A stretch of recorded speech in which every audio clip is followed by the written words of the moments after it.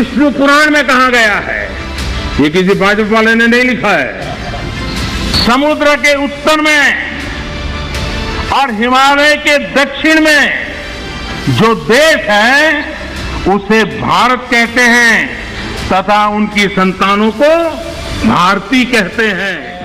नमस्कार दोस्तों, एक बड़ी खबर जिसमें इंडिया का नाम बदलकर भारत हो चुका है। हिंदुस्तान को इंडिया नहीं, बल्कि अब भारत कहा जाएगा। जी ट्वेंटी सम्मेलन के लिए जारी हुआ एक ऐसा पत्र, जिससे पूरे भारत में सनसनी फैल चुकी है और सबसे ज़्यादा इसका प्रभाव विपक्ष पर पड़ा है, क्योंकि बीते कुछ ही दिनों में विपक्ष ने एक गठबंधन बनाया, जिसका नाम रखा इंडिया। अब भैया, इंडिया शब्द ही नहीं रहा तो विपक्ष क्या करेगा? खैर, छोड़िए। अब सीधे मुद्दे पर आते हैं। क्या सच में इंडिया का नाम बदलकर भारत हो जाएगा या फिर हो चुका है? आखिर कितनी सच्चाई है इस खबर में? इस पर आँख बंद करके यकीन कर लेना चाहिए या फिर नहीं? चलिए इसे डिटेल में समझने का प्रयास करते हैं। दोस्तों, इंडिया शब्द का विरोध, ये आज से ही नहीं, बल्कि जून 2020 में भी, इसका काफ़ी विरोध देखा गया। लोग इंडिया शब्द को गुलामी का प्रतीक मानते हैं, क्योंकि ये अंग्रेज़ों की देन है। साल 2020 में सुप्रीम कोर्ट में एक याचिका लगाकर ये मांग की गई कि इंडिया शब्द गुलामी का प्रतीक है, उसे हटा दिया जाए। और तब सुप्रीम कोर्ट ने संविधान का हवाला देकर याचिका को खारिज कर दिया। और हाल ही में आरएसएस चीफ मोहन भागवत ने भी इंडिया का नाम बदलकर भारत रखने की मांग की।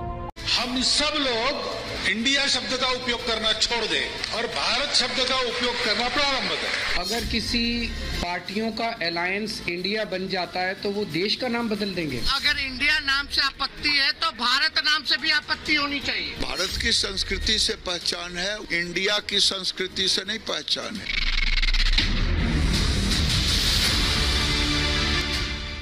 दोस्तों, ये तो हुई। इंडिया का नाम बदलकर भारत रखने की तमाम बातें। अब जान लेते हैं कि इंडिया शब्द कहाँ से आया और इसे भारत में कौन लेकर आया। इंडिया शब्द पर कई ऐसी थ्योरीज हैं, जिनमें इंडिया वर्ड का ज़िक्र जमकर किया गया है। ऐसा माना जाता है कि भारत या भारतवर्ष देश का असली, यानी कि वास्तविक नाम है और कहा जाता है कि देश का नाम भारत, महाराज दुष्यंत और महारानी शकुंतला के पुत्र भरत के नाम पर पड़ा और तभी से राजा भरत को भारत का सबसे पहला राजा कहा जाता है। और शायद यही कारण है कि कई इतिहासकार इस बात पर यकीन करते हैं कि भारत देश का नाम इस शक्तिशाली राजा के नाम पर पड़ा। इसके अलावा कई इतिहासकारों का मानना है कि इंडिया शब्द का निर्माण ग्रीक से लेटिन भाषा में बदले शब्द इंडिका से हुआ है और अंग्रेज़ों ने सबसे पहले इंडिया की जगह इंडी शब्द का इस्तेमाल किया था और सत्रहवीं सदी में ब्रिटिश सरकार ने इंडिया शब्द को स्वीकार भी कर लिया था और फिर इस नाम को जबरन लागू भी करा दिया। अंग्रेज़ धीरे धीरे भारत पर कब्जा करते गए और यही वजह है कि लोग इंडिया शब्द को गुलामी का प्रतीक मानते हैं, जिसकी वजह से लोगों ने इस नाम को अस्वीकार कर दिया। इंडिया शब्द पर ये एक और थ्योरी है कि जब अंग्रेज़ शुरुआत में भारत आए थे,